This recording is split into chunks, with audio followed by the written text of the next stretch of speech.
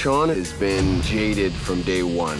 He's seen so much, especially overseas when he's in Afghanistan and been through the war on such different levels. He knows it's inevitably gonna go to violence, so he just goes there.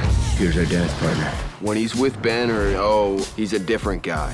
He can maybe even get high, let his guard down. This is the best cannabis in the world. I think we just struck gold. Chon's real purpose is to protect this business and protect Ben as well. I love you guys. It's the three of us now. And to protect O at all costs. And of course the cartel wants to come infiltrate our business. We're not gonna join you.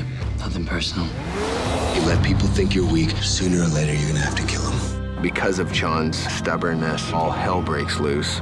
I found their weakness. Oh my god. Every man in her life has let her down. She's in this because of us. I haven't left a man behind in my whole life.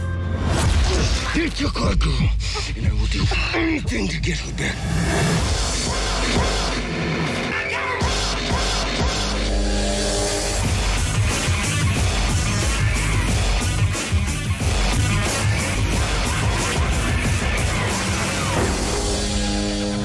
I'm Taylor Kitsch, and yes, I'm a savage. Get the out of here.